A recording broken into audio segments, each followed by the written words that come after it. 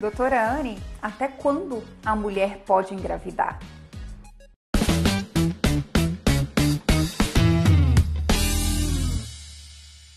Nós vamos falar de um assunto que está bem alta na mídia, né? Por causa da gestação da Cláudia Raia ali na pós-menopausa e veio dúvidas de vários seguidores. A mulher, ela já nasce com toda a quantidade de óvulos que ela vai ter ao longo da vida. O que acontece é que cada vez ao longo do tempo, passando ano após ano, vai diminuindo a quantidade dos nossos folículos e alterando a qualidade deles.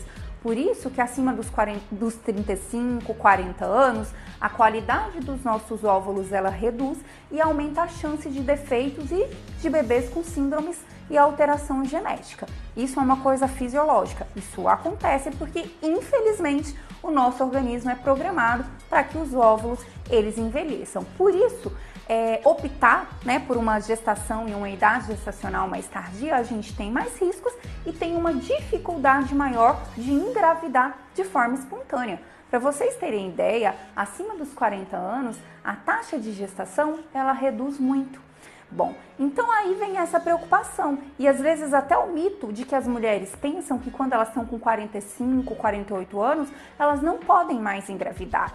Uma pesquisa interessante do IBGE mostrou que depois de 2020, né, a partir da pandemia, houve aumento de 55% de taxa de gestações nas mulheres acima de 50 anos. Mulher, se você tá aí no período da perimenopausa, o que, que é isso, doutora? É o período ali entre 49 a 52 anos. Tem mulheres que começam mais cedo, mulheres que são mais tardias, mas em geral é aquela fase que a mulher começa a ter muita labilidade emocional, irritação, os calorões, né, que são os fogachos, às vezes alterações, secura vaginal, todos esses são sintomas que o nosso ovário está entrando em falência. E um dos sintomas principais é a irregularidade menstrual. É aquela mulher que vem a menstruação agora, daqui três meses vem de novo.